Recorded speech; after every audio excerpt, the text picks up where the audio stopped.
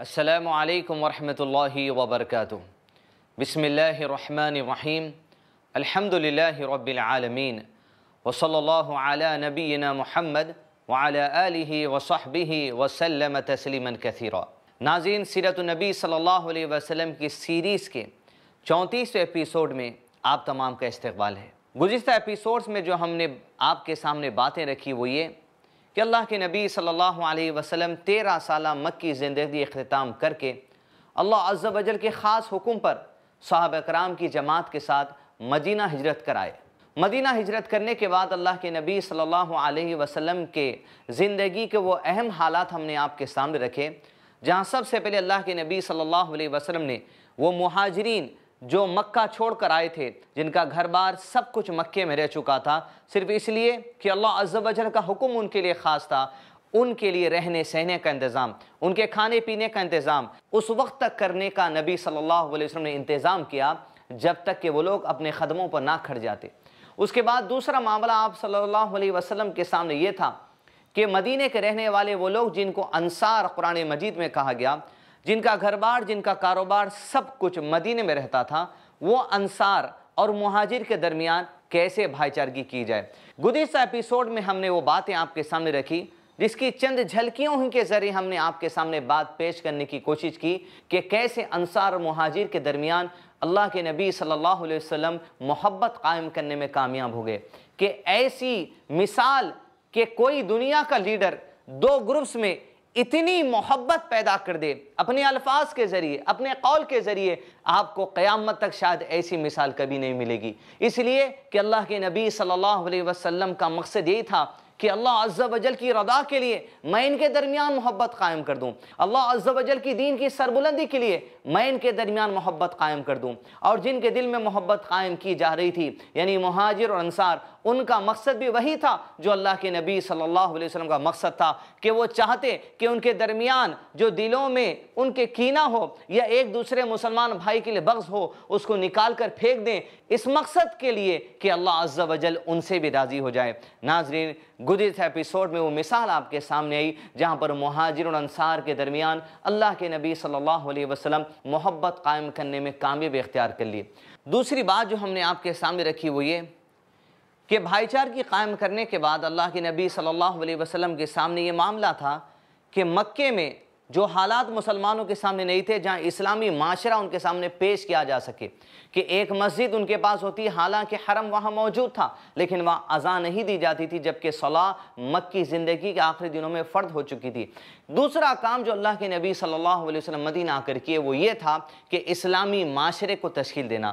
ایک ایسی سوسائٹی وہاں پر قائم کرنا جو اسلام پر عمل کرنے والی سوسائٹی ہو، جو اسلام کو سمجھنے والی سوسائٹی ہو، جو اپنے گھر کے معاملات، اپنے کاروبار، اپنے سیاسی معاملات، اپنے جو سو اخلاق تمام تر معاملات میں دین اسلام کو ترجیح دے کر اپنی زندگی گزارے، ایک ایسی سوسائٹی آپ صلی اللہ علیہ وسلم قائم کرنا چاہتے تھے۔ اس سوسائٹی کو قائم کرنے کے لیے سب سے پہلی بنیاد جو اللہ کے نبی صلی اللہ علیہ وسلم مدینہ میں رکھی، وہ مسجد نبوی کی تعمیر کی گئی۔ وہ مسجد نبوی کی تعمیر اللہ کے نبی صلی اللہ علیہ وسلم خود اپنے ہاتھوں سے کرتے، صحابہ اکرام بھی اپنے ہاتھوں سے کرتے۔ اور آپس میں کہتے کہ اگر ہم بیٹھے رہیں اور اللہ کے نبی صلی اللہ علیہ وسلم کام کرتے رہیں، تو یہ تو بڑی گمراہی کا کام ہوگا۔ لہٰذا مسجد نبوی کی تعمیر کی گئی۔ جب مسجد نبوی کی تعمیر کر لی گئی اور مہاجر اور انصار میں بھائی چارگی ہو گئی، دو بڑے اہم کام نبی صلی اللہ علیہ وسلم نے مدنی زندگی میں انجام دیے۔ یہ مدنی زندگی کا آغاز ہو چکا تھا۔ اب ناظرین، گزشتہ ایپیسوڈ میں ہم نے آپ کے سامنے یہ بات رکھی کہ کیسے انصار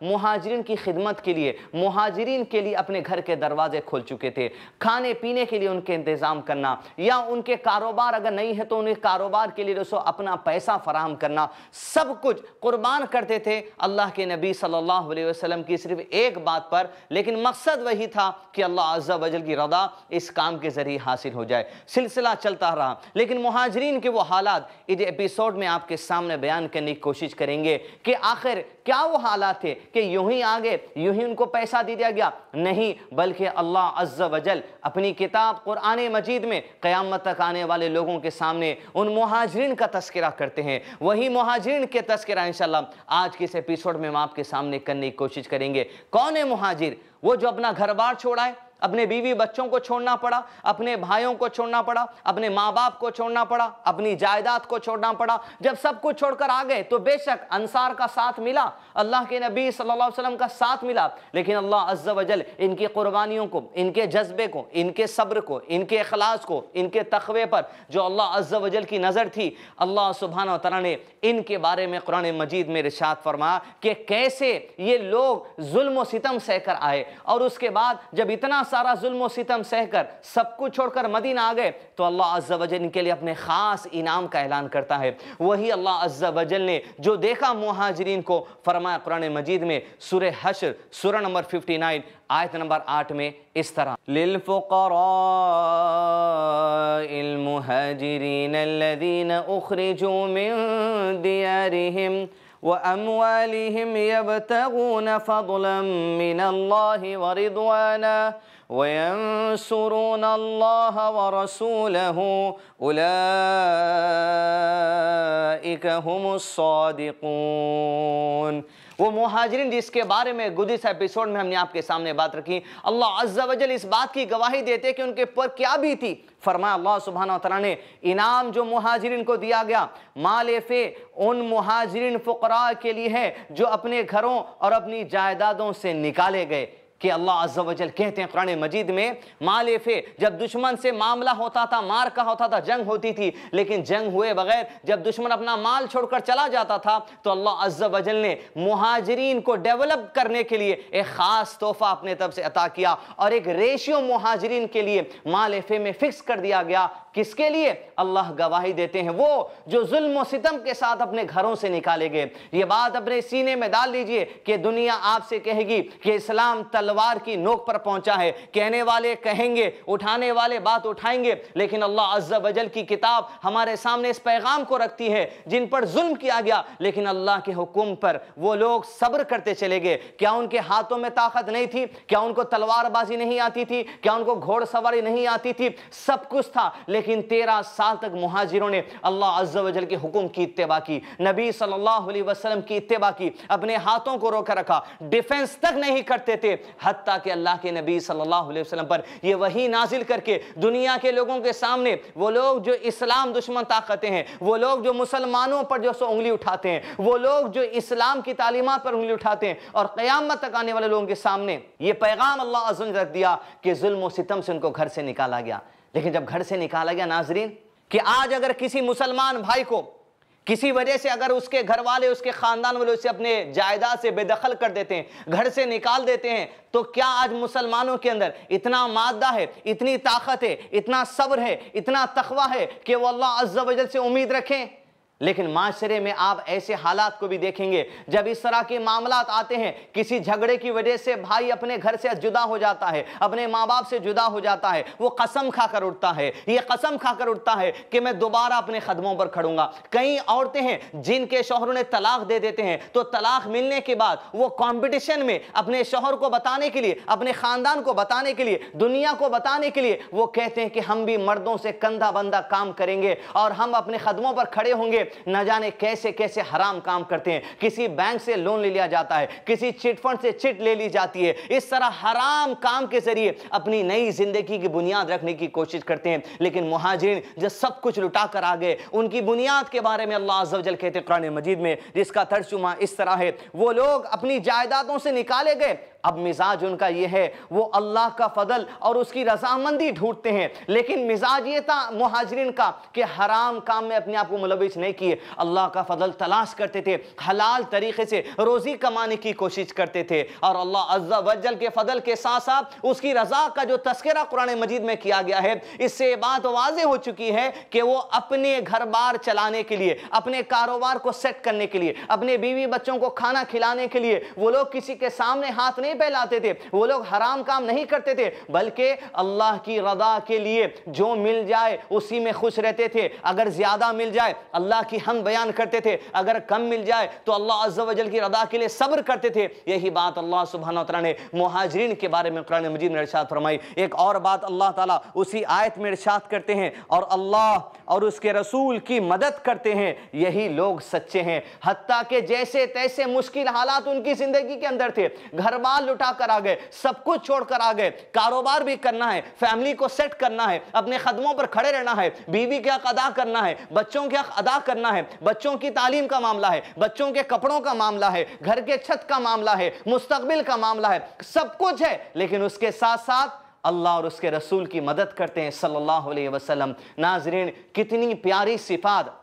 مہاجرین کی اللہ عز و جل نے جو ہمارے سامنے بیان کی، ایک ایسی سوسائٹی جس کو اس زمانے کے لوگوں نے نیچا کر دیا تھا۔ ڈیولپمنٹ کی طرف نکلتی ہے، لیکن ان کی بنیاد کیا ہے؟ ان کے ڈیولپمنٹ کی بنیاد کسی بینک کا سودی لون نہیں ہے۔ ان کے ڈیولپمنٹ کی بنیاد کسی بھائی کا مال نہ حق کھانا نہیں ہے۔ ان کے ڈیولپمنٹ کی بنیاد جھوٹے سرٹیفکیٹ لگا کر کہیں جاب حاصل کرنا نہیں ہے۔ بلکہ ان کے ڈیولپمنٹ کی بنیاد اللہ تعالیٰ کہتے ہیں، یہ اللہ کی رضا حاصل کرتے ہیں۔ اس کے ساتھ ساتھ سارے گھر کے کام کرتے ہوئے ان کا کام کیا تھا؟ اللہ اور اس کے رسول کی مدد کرنا مطلب یہ دین اسلام کا علم حاصل کرنا، دین اسلام کی تبلیغ کرنا، دین اسلام کی بات لوگوں کے سامنے رکھنا، سب کچھ کریں گے، لیکن اس کے ساتھ ساتھ دین اسلام کی تبلیغ کا کام بھی کریں گے۔ ناظرین، آج آپ مسلمان کی حیثیت سے I plus T V channel پر یہ پروگرام جب آپ دیکھ رہے ہیں، اپنا جائزہ لیجیے کہ آپ آپ کے کاروبار میں مصروف ہیں، آپ کالج کو پڑھائی کے لیے جاتے ہیں، آپ سکول کو پڑھائی کے لیے جاتے ہیں، آپ کی آفس کو جاتے ہیں، آپ کے ورکشاپ میں جاتے ہیں۔ لیکن ذرا سوچئے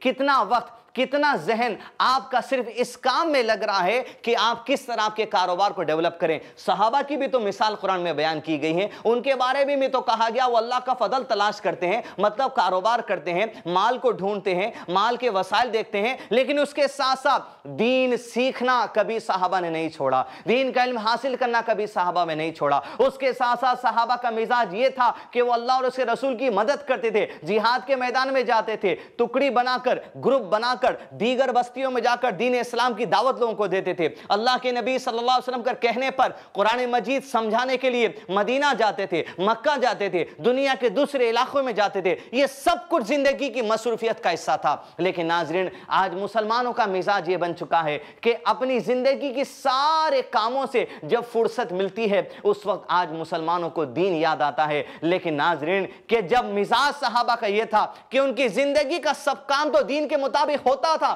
لیکن ان کی زندگی میں زیادہ فکر اللہ عز و جل کے دین کو غالب کرنے کی تھی۔ کہیں اگر صحابہ کے اندر یہ اگر مادہ کم ہوتا، یہ اگر دین اسلام کو تبلیغ کرنے کی سوچ اگر ان کے اندر کم ہوتی، تو کیا آج آپ I plus T V channel پر ان کی سیرت سنا کرتے تھے کہ آج ہم تک دین اسلام پہنچ جاتا تھا۔ اللہ عز و جل نے ان کے سینے کو ایسے تیار کر دیا تھا۔ زندگی کے تمام تر معاملات میں عمل بھی کرتے تھے اور دین اسلام کی تبلیغ کرنے پیچھے بھی نہیں ہٹتے تھے۔ اسی لیے ناظرین، گزشتہ ایپیسوڈ میں ہم نے آپ کے سامنے انصار کے جو سو قربانیوں کا تذکرہ کیا۔ اس ایپیسوڈ میں اس آیت کے ذریعے مہاجرین کی قربانی کا تذکرہ آپ کے سامنے کیا جاتا ہے۔ پھر اس کے بعد اب ہم پیچھے نہیں ہٹیں گے آپ کے لیے۔ قرآن مجید سورہ توبہ سورہ نمبر نو، آیت نمبر سو آپ کے سامنے رکھنے، جہاں اللہ عز و جل نے یہ دونوں گروپس کا تذکرہ کرتے ہوئے ارشاد فرما، مدنی زندگی میں کتنا بڑا اہم رول ان کا ہے، دین اسلام کی تبلیغ میں کتنا بڑا رول ان کا ہے، ان کی زندگی کے تمام تر شعبوں میں ہر ہر لیول پر جہاں دین اسلام کو انہوں نے ترجیح دی، اس آیت کے ذریعے اب اندازہ لگا دستے ہیں، جہاں اللہ عز و جل نے ارشاد فرمایا والسابقون الأولون من المهاجرين والأنصار والذين اتبعوهم بإحسان رضي الله عنهم ورضوا عن قبول اسلام میں سبقت کرنے والے یعنی مہاجر اس ایپیسوڈ میں جس کے بارے میں بیان کیا جا رہا ہے۔ والانصار جو گزشتہ ایپیسوڈ میں جن کے بارے میں بیان کیا گیا تھا۔ والذین اتبعوهم بإحسان کہ اللہ عز و جل نے ان دونوں گروپس کو اب چن لیا۔ کس کے لیے؟ میرے لیے۔ آپ کے لیے قیامت تک آنے والے لوگوں کے لیے اور ارشاد فرما والذین اتبعہم بحسان قیامت تک آنے والے لوگوں میں جو کوئی صدق دل کے ساتھ، جو کوئی سچائی کے ساتھ مہاجر اور انصار کے طریقے کو اپنا لے گا، اپنی زندگی کے تمام معاملات میں، شادی بیاہ کے معاملات میں، لین دین کے معاملات میں، تجارت کے معاملات میں، گفتگو کے معاملات میں، ولیمے کے معاملات میں، عقیقے کے معاملات میں، ہنسی مذاق کے معاملے میں، رونے کے معاملے میں، تمام تر زندگی کی عمر میں والذین اتبعہم بحسان جو کرے گا اللہ عز و جل صحابہ کے لیے بھی اعلان کر چکے ہیں۔ اور اگر ہم میں کوئی اتباع کرنے والا قیامت تک آئے گا، ان کے بارے میں بھی اللہ تعالیٰ کہہ چکے ہیں۔ رضی اللہ عنہ وردوان اللہ تو صحابہ اور انصار سے راضی ہو چکا ہے۔ اس کے ساتھ ساتھ جو کوئی انصار و مہاجر کی اتباع کریں گے، اللہ عز و جل ان لوگوں سے بھی راضی ہو جائے گا جو صحابہ کے نقش قدم پر چلنے والے ہیں۔ ناظرین، یہ ہے مہاجرین، یہ ہے انصار۔ اب آپ اندازہ لگائیے کہ اللہ عز و جل جس سے اپنی راضی ہونے کا اعلان کر چکے ہیں، تو کس حد تک ان لوگوں نے دین اسلام کا علم حاصل کیا؟ کس حد تک انہوں نے دین اسلام کو اپنی زندگیوں میں اندر لے کر آئے؟ آپ اس بات کا اندازہ لگائیے، کتنی سیریسنس ان کے اندر دین اسلام سیکھنے، سکھانے کی تھی؟ ناظرین، یہی انصار، یہی مہاجرین کو لے کر اللہ کے نبی صلی اللہ علیہ وسلم مدنی زندگی کا آغاز کرتے ہیں۔ صحابہ کے دو اہم گروپ کے ساتھ مہاجر اور انصار، جس کا تذکرہ گزشتہ ایپیسوڈ اور اس ایپیسوڈ میں آپ کے سامنے کیا جا رہا ہے۔ ناظرین، اگر آپ اس ایپیسوڈ کے آخری حصے میں ایک ایسے پوائنٹ کی طرف ہم آپ کو توجہ دلانے کی کوشش کریں گے کہ صحابہ جو مہاجر سب کچھ چھوڑ کر آئے، ان کی خودداری کا تذکرہ اللہ تعالیٰ نے کیا، ان کے ایمان کا تذکرہ اللہ تعالیٰ نے کیا، پھر انصار کی جماعت کا بھی تذکرہ اللہ تعالیٰ نے کیا۔ دونوں سے اللہ راضی ہے بھی تذکرہ کیا۔ لیکن ان دونوں نے مسلم کمیونٹی کے سامنے ایک ایسے عمدہ پیغام کو رکھا جہاں آج اگر ہم اس بات پر توجہ دیں اور جتنے مسلمانوں کے مساجد دنیا بھر کے اندر ہے ہر مسجد سے اگر یہ کام ہو جائے، مسلم کمیونٹی کا ہر آدمی ڈیولپمنٹ کی طرف آگے بڑھے گا۔ دنیا آج ڈیولپمنٹ کے نام پر نئی نئی اسکیمز لاتی ہیں، نئی نئی پالیسیاں لے کر آتے ہیں، لیکن ہر چیز ہر محاذ پر فیل ہو جاتی ہے۔ لیکن صحابہ میں یہ انصار نے ایک ایسی پالیسی اللہ کے نبی صلی اللہ علیہ وسلم کی نگرانی میں مہاجرین کے سامنے رکھی، جس میں صرف مہاجر کے دو یا چار لوگ نہیں، ساری کی ساری مہاجرین کی کمیونٹی ڈیولپ ہو گئی۔ جہاں آپ نے گزشتہ ایپیسوڈ میں سنا ہوگا کہ انصار نے اللہ کے نبی صلی اللہ علیہ وسلم سے کہا تھا، ہمارے جتنے کھجور کے باغ ہیں، ہم اس میں سے آدھے باغ مہاجرین کو دے دیں گے۔ اللہ کے نبی صلی اللہ علیہ وسلم نے کہا ایسا مت کرو، بلکہ تم یہ کام کرو، تمہاری اونرشپ تمہارے ساتھ رہے گی۔ لیکن مہاجر کو تم کام دے دینا۔ اور جب فروٹ لگے گا، سال میں ایک بار یا چھ مہینے میں ایک بار، وہ جتنا پھل لگے گا، اس پھل کو آدھا آدھا بانٹ لینا۔ اس سے تمہارے لیے منافع تمہارا آدھا کم ہوگا۔ لیکن مہاجرین کو جو آدھا منافع جائے گا، اس سے ایک پوری سوسائٹی ڈیولپ ہو سکی۔ ناظرین، انصار کی یہ جو قربانی تھی، یہ جو دور اندیشی تھی، یہ جو بزنس ٹیکٹکس تھے جو اللہ کے نبی صلی اللہ علیہ وسلم نے سکھا کہ جہاں پر ایک یا دو لوگوں کو ڈیولپمنٹ ڈیولپمنٹ کا خیال نہ تھا، بلکہ ساری قوم کو، ایک ساری کمیونٹی کا ڈیولپمنٹ کا ٹارگٹ نبی صلی اللہ علیہ وسلم کے ذہن میں تھا۔ اسی لیے نبی صلی اللہ علیہ وسلم نے ایسے طریقہ کار بزنس کے اور ہیلپ کرنے کے، مدد کرنے کے ڈونیٹ کرنے کے ایسے طریقے اللہ کے نبی صلی اللہ علیہ وسلم نے صحابہ کی جماعت کو بتائے کہ ایک یا دو لوگ نہیں، ساری کمیونٹی ڈیولپ ہوتی تھی۔ ساری کمیونٹی ڈیولپ ہوتی تھی۔ اسی لیے ناظرین، جب بھی آپ اپنی زکاة ہر سال نکالیں گے۔ عام طور پہ یہ ہوتا ہے کہ مسلمان اپنی زکاة اگر دس ہزار روپیہ سال میں ایک بار نکالتا ہے تو اپنی زکاة کے ٹکڑے کر دیتا ہے۔ کسی کو ہزار روپیہ دیتا ہے، کسی کو پانچ ہزار دیتا ہے، کسی کو دو ہزار دیتا ہے۔ ناظرین، آپ اپنی زکاة کو جب تک ٹکڑے کرتے رہیں گے، ایک جگہ مسلمان جمع ہو کر اپنی کمیونٹی کے ڈیولپمنٹ کے لیے زکاة کے استعمال نہیں کریں گے تب تک مانگنے والے ہاتھ آپ کے سامنے آتے رہیں گے۔ جب آپ کسی غریب مسلمان کو ہر سال دیتے ہیں ہزار روپیہ یا دو ہزار روپیہ اپنی زکاة میں سے اور اسے یہ بول کر دیتے ہیں کہ اس سال میں تمہیں ہزار دے رہا ہوں، اس بار رکھ لو، آئندہ سال تمہیں کچھ زیادہ دینے کی کوشش کروں گا۔ تو ناظرین، آپ اس مسلمان بھائی کو یہ پیغام دے رہے ہیں کہ تو اس سال فقیر ہے، آئندہ سال بھی بھیک مانگنے کے لیے میرے گھر پر آنا۔ کیسے کمیونٹی ڈیولپ ہوگی؟ آپ ایک ایک سال تک اس کے ذہن میں بات رکھ رہے ہیں کہ آئندہ سال بھی مجھے میرے پاس مانگنے کے لیے آنا، تو تصور کر کے دیکھیے کہ ایک مسلمان دوسرے مسلمان کو بھکاری بنانا چاہتا ہے، مانگنے والا بنانا چاہتا ہے؟ اسے کہتا ہے کہ تو ڈیولپمنٹ کی طرف مت آ، تو اپنی سوسائٹی کے اندر جو سو اسی طرح غریب رہے جس طرح آج غریب ہے۔ ناظرین، صحابہ کا نظریہ مسلمانوں کو ہیلپ کرنے کا ایسا نہیں تھا کہ ایک دو آدمی کو ڈیولپ کرتے تھے۔ اسی لیے ناظرین، ہر مسجد کو چاہیے وہ اپنے اندر ایک بیت المال کو قائم کرے۔ ہر مسجد میں اگر پچاس مسلی ہیں جو ریگولر آتے ہیں یا سو مسلی ہیں جو ریگولر آتے ہیں، کم سے کم یہ سو مسلیوں کی ساری زکاة ایک جگہ جمع ہو جائے۔ یا ایٹ لیسٹ ان کی ففٹی پرسنٹ زکاة ایک جگہ جمع ہو جائے۔ جب ایک جگہ سو لوگوں کی زکات جو منیمم اگر پانچ ہزار روپیہ بھی اگر ہم پکڑ لیں تو پانچ لاکھ روپیہ سال میں ایک ایک مسجد میں ہم زکات جمع کر سکتے ہیں۔ جب یہ پانچ لاکھ روپیہ ہمارے پاس ایک جگہ جمع ہوگا ہر مسجد میں، تو آپ تصور کر کے دیکھیے، اس مسجد کے اندر آنے والے مسلی جو غریب ہیں، کسی کو ٹھیلا بھنڈی کا کاروبار آپ لگا کر دے سکتے ہیں۔ اس شرط پہ کہ تم بھیک مانگنا چھوڑ دو، کسی کو اچھی دکان لگا کر دے سکتے ہیں۔ اس شرط پہ کہ تم بھیک مانگنا چھوڑ دو۔ کسی کے ساتھ شادی بیاہ کا معاملہ ہے، ان کو ہینڈ لون آپ دے سکتے ہیں، جس کے اوپر سودی خرچہ کچھ نہیں ہو سکتا۔ اس طرح ساری کمیونٹی کو ڈیولپ کرنے کے لیے زکاة کی استعمائیت ہونا زکاة کو ایک جگہ جمع ہونا ضروری ہے، جیسے صحابہ کے دور میں تھا۔ آپ نے سنا ہوگا کئی مرتبہ ابو بکر صدیق رضی اللہ عنہ نے ان لوگوں سے جہاد کا اعلان کیا تھا، جنہوں نے زکاة دینے سے انکار کر دیا تھا۔ ناظرین، اس نقطے پہ توجہ دیجیے۔ وہ لوگ یہ ایسے نہیں تھے جو زکاة کا انکار کرتے تھے، بلکہ اللہ کے نبی صلی اللہ علیہ وسلم کے دور میں زکاة کو اکٹھا جمع کیا جاتا تھا، ایک جگہ لایا جاتا تھا اور ایک جگہ لا کر لوگوں کی مدد کی جاتی تھی، انہیں ڈیولپ کیا جاتا تھا اور فقیری کو مٹانے کی کوشش کی جاتی تھی۔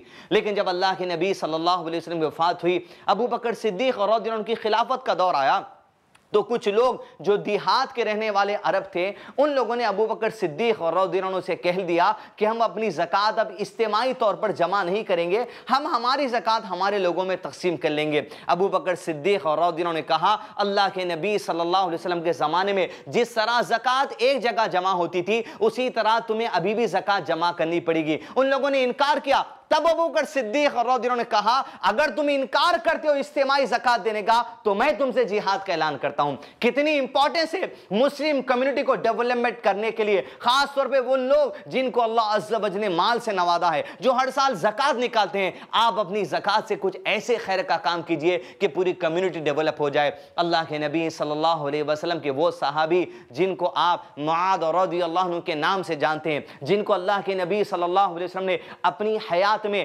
یمن کا گورنر بنایا تھا۔ اور جب وہ یمن کی گورنرشپ کے لیے نکل رہے تھے مدینہ سے، تو اللہ کے نبی صلی اللہ علیہ وسلم ان کے ساتھ ان کی سواری تک گئے۔ ان کو سواری پر بٹھایا اور حضرت معاد سے کہا ہے معاد مجھے لگتا ہے یہ تمہاری اور میری آخری ملاقات ہوگی۔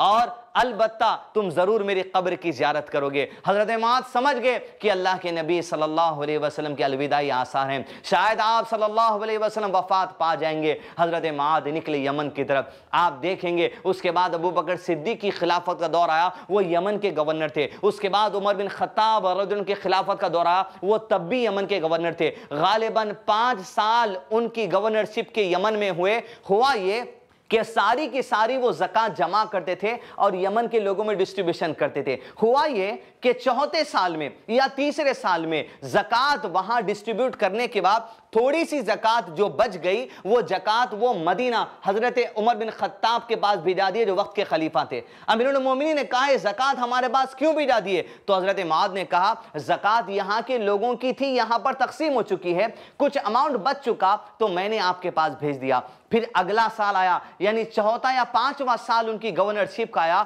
تو وقت جب بیتتا چلا گیا، جب زکاة لوگوں نے استعمائی طور پر جمع کی، تو اس سال معاد رضی اللہ عنہ نے ساری کی ساری زکاة جو یمن میں جمع ہوئی تھی وہ مدینہ بھیج دی۔ عمر بن خطاب رضی اللہ عنہ کو جب اطلاع ملی، آپ کو یہ بات برداشت نہ ہو سکی کہ کیوں تم نے یمن کی زکاة مدینہ بھیجا دی؟ کیوں وہاں کے لوگوں میں زکاة ڈسٹریبیوٹ نہیں کی گئی؟ تو حضرت ماد جواب لکھ کر بھیجواتے ہیں، اے امیر المومنین، میں کیا کرتا یہاں زکاة بانٹ کر؟ یہاں کی کمیونٹی اتنی ڈیولپ ہو چکی ہے زکاة کا پیسہ لے کر اپنے آپ کو ایسا ڈیولپ کر چکے ہیں کہ آج یمن کی زمین پر ایک بھی زکاة قبول کرنے والا آدمی موجود نہیں ہے۔ اس لیے میں نے آپ کے پاس ساری کی ساری زکاة بھیجا دی۔ ناظرین، یہ تھا صحابہ کی دور اندیشی۔ اس کے لیے دل کی صفائی چاہیے۔ اس کے لیے دل کا اخلاص چاہیے۔ امت کے پیسے اپنے جیبوں میں رکھ کر، اپنے دھندے چلانے کے لیے نہیں، بلکہ امت کا خیال رکھا جائے۔ امت کو ڈیولپ کیا جائے۔ جس طرح صحابہ اکرام جو سو امت کو ڈیولپ کیا کرتے تھے۔